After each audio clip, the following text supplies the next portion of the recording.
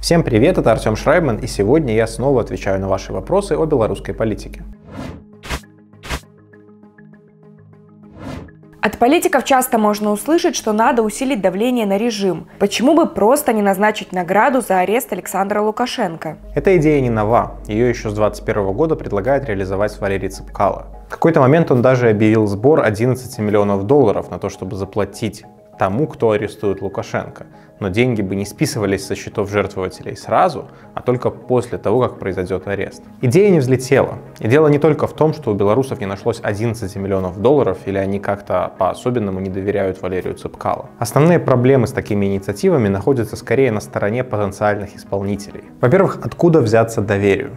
Почему высшие силовики, которые только единственные в теории способны арестовать Лукашенко, должны верить, что их вчерашние враги, оппозиционеры или Запад, вообще выполнят свою часть сделки. Во-первых, даже бы если это доверие появилось, то мы же говорим не об аресте какого-то рядового человека. Арест лидера такого милитаризованного государства с огромной охраной, десятком разных силовых и специальных служб – потребовал бы заговора как минимум нескольких влиятельных силовиков. Потому что если действовать в одиночку, то даже самый влиятельный генерал не может быть уверен, что в критический момент его коллеги поддержат его, а не решат выслужиться перед начальством, арестовав такого бунтаря. А пытаться организовать такой заговор это очень рискованная авантюра с куда большими рисками, что те, кого ты пробуешь завербовать в союзники, пойдут и донесут на тебя Лукашенко, прежде чем ты даже начнешь реализовывать эту операцию. В итоге мы имеем уравнение, на одной стороне которого обещание от твоих вчерашних врагов, которые просят тебя просто поверить им на слово, а на второй вполне себе смертельный риск для тебя и для твоей семьи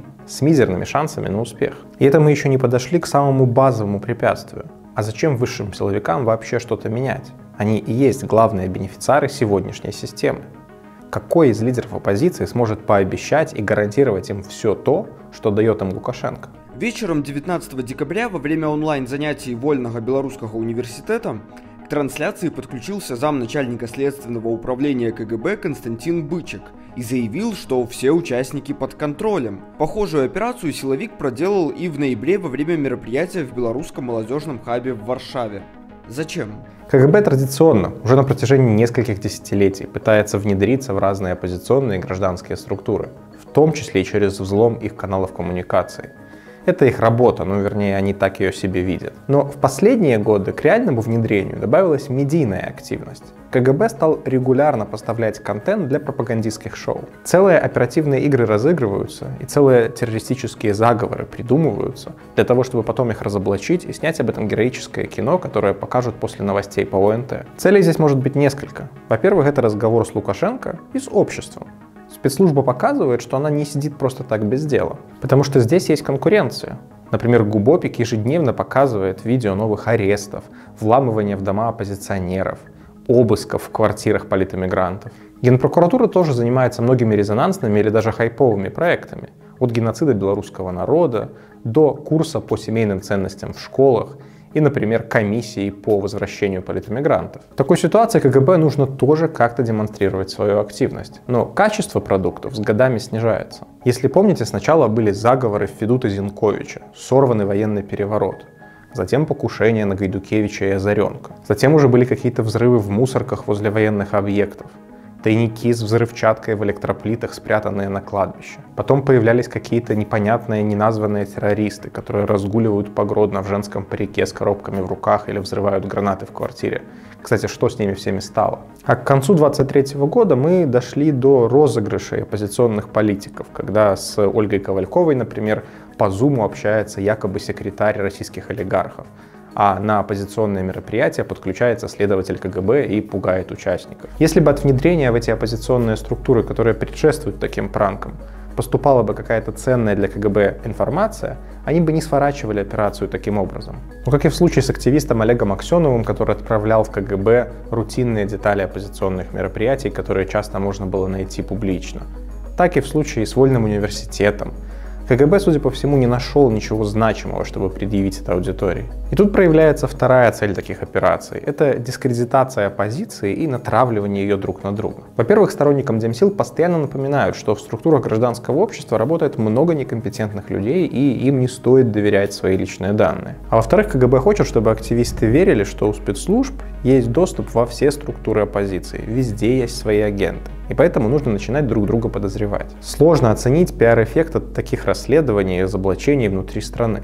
Я сомневаюсь, что среди постоянной аудитории госсми остались люди, в глазах которых имидж оппозиции можно как-то серьезно испортить расследованиями подобного уровня. В среде самих демсил какого-то резонанса или многодневных обсуждений таких ситуаций я тоже не наблюдаю.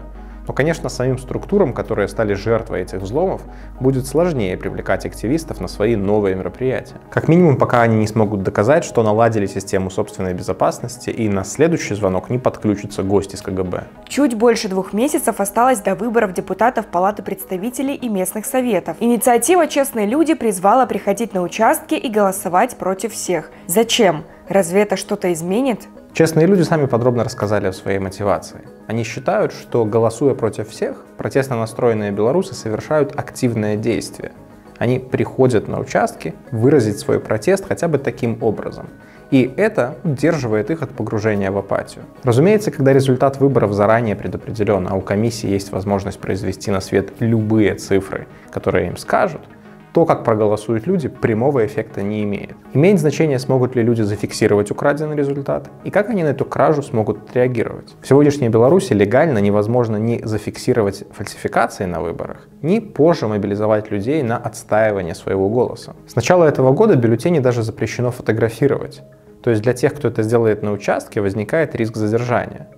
Отправлять какие-то отчеты или фотографии в боты оппозиционных компаний еще опаснее потому что все эти платформы признаны экстремистскими. Что касается поствыборной мобилизации, то даже если мы оставим в стороне репрессии, то мобилизация обычно удается, когда есть понятная альтернатива власти, желательно персональная. История не знает примеров выхода на площадь для того, чтобы отстоять свой голос против всех. Да и к тому же парламентские выборы никогда не политизировали белорусское общество в достаточной степени. Но представители честных людей и сами признают, что их идея не имеет теории победы. Ее главное значение находится где-то на стыке политики и психотерапии, потому что людям дают возможность высказать свой протест легальным образом, чтобы эта привычка не атрофировалась. Проблема с этой идеей прямо сейчас в том, что на пути призыва честных людей к своим единомышленникам внутри страны находится несколько плотных мембран. Во-первых, деполитизация. Слишком многим белорусам сегодня в принципе все равно на парламентские выборы, единый день голосования, ВНС и политику в целом. Во-вторых, разрыв между политиками в диаспоре и людьми внутри Беларуси за эти годы только вырос. Это разрыв в том числе и коммуникационный. Независимые медиа не читает так много людей, как делали это в 20 или 21 годах. То есть из небольшой доли все еще политизированных белорусов остается еще меньшая доля тех, кто готов слушать, что им посоветуют активисты из Вильнюса или Варшавы. В-третьих, честные люди сегодня стоят особняком от остальных демсил, в отличие от кампании 20 или референдума 22 года, когда они были частью большой коалиции. Это означает диссонанс месседжей, то есть простыми словами это запутывает людей. Сначала Тихановская говорит не ходить на выборы и голосовать против всех, только если вас заставляют пойти на участок.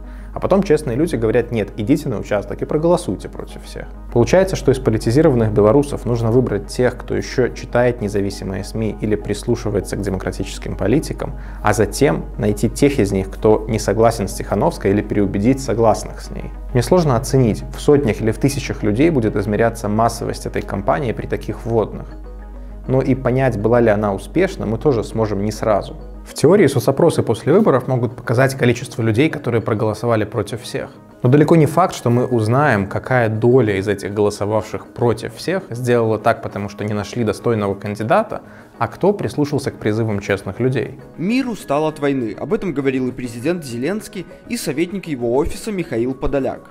Есть ли у белорусов еще интерес к конфликту в Украине? На чьей стороне общественное мнение? Белорусское общественное мнение по теме войны, судя по исследованиям за два последних года, не сильно изменилось. И оно остается намного более сложным, чем общественное мнение в Украине или в России. Во-первых, есть вопросы, по которым в Беларуси, кажется, сложился консенсус. Это касается участия белорусской армии в войне. Онлайн-исследования показывают 3% сторонников такой идеи, телефонные опросы говорят о 10%. Есть темы, в основном связанные с использованием белорусской территории Россией, в которых большинство все еще осуждает это, но за выступает уже очень заметное меньшинство. Например, по данным последнего опроса Chatham House, треть белорусских горожан одобряет размещение российского ядерного оружия в Беларуси. И это определенный успех пропаганды, потому что летом таких людей было 20%. Примерно столько же, до трети, поддерживают другие форматы российского использования нашей территории и инфраструктуры в войне с Украиной. Причем эти результаты видны как в телефонных, так и в онлайн-исследованиях.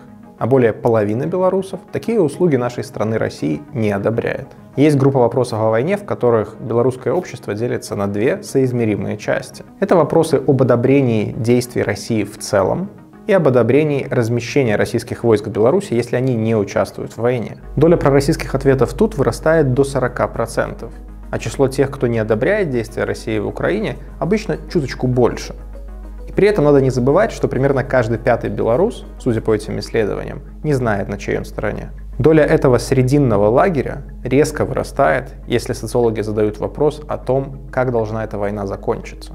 Полной победы России и Украине желают по 15-20% а большинство, больше 50%, хотят, чтобы война закончилась прямо сейчас каким-то перемирием. И здесь, наверное, нужно сделать небольшое лирическое отступление. Каждый раз, когда я цитирую какие-то опросы, значительная часть аудитории говорит, что никаким опросам в Беларуси верить невозможно, проводить их нельзя, никто все равно правды не скажет. Если вы один из таких людей, то специально для вас Недавно группа социологов презентовала исследование о том, как и на что влияет фактор страха в вопросах в Беларуси. Ссылка будет в описании к этому видео. Короткий спойлер. Далеко не все политические темы одинаково пугают респондентов. Возвращаясь к вашему вопросу. Мы не знаем точно, какова сегодняшняя актуальная степень интереса белорусов к войне. По читаемости новостей мы видели всплески внимания аудитории в самом начале войны, в ее первые месяцы, затем во время объявления о мобилизации в России, затем во время мятежа Пригожина. По сравнению с этими пиковыми точками, интерес к войне сегодня может быть только ниже. Уже почти год не было серьезных территориальных сдвигов на фронте, а с момента мятежа Пригожина и его последующего устранения не было каких-то громких новостей, которые бы интересовали большинство белорусов. Другое косвенное подтверждение падающего интереса к войне – это выход на плато уровня доверия к власти. Это я цитировал раньше. Примерно с начала 2023 года прекратилась тенденция, которую социологи наблюдали весь 2022 год. В частности, исследования белорусского трекера перемен показывали ежеквартальный рост доверия институтам власти. Этот тренд остановился. Судя по всему, прошел первый шок от войны, который переключал внимание белорусов с внутренних проблем на внешние угрозы.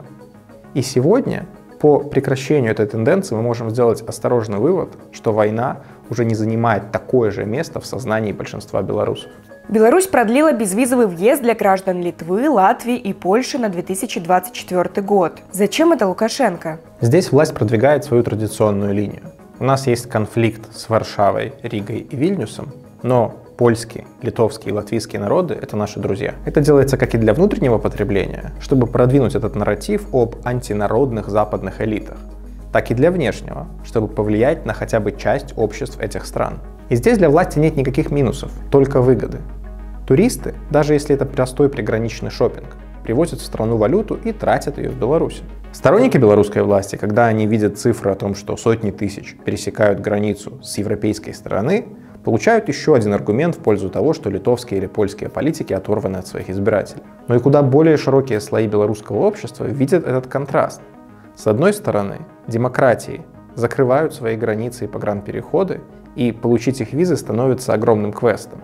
А диктатура свои границы открывает. И это тоже не может позитивно влиять на проевропейские настроения в белорусском обществе. К тому же Минск ставит в очень неловкую позицию некоторых литовских политиков, которые потом должны уговаривать своих граждан не ездить в Беларусь, пугая их рисками вербовки. А сами эти граждане продолжают ездить, потому что в любом обществе есть большой сегмент аполитичных людей. Для них приезд в Беларусь это просто возможность купить каких-то товаров подешевле или подлечить зубы. За время своих коротких визитов они видят гостеприимных людей и чистые улицы белорусских приграничных городов. Но они не видят полторы тысячи политзаключенных, пытки в тюрьмах, пропаганду в школах, увольнение по спискам и другие прелести жизни в Беларуси для неаполитичных людей. Для власти безвизовый режим – это один из самых удачных пиар-ходов.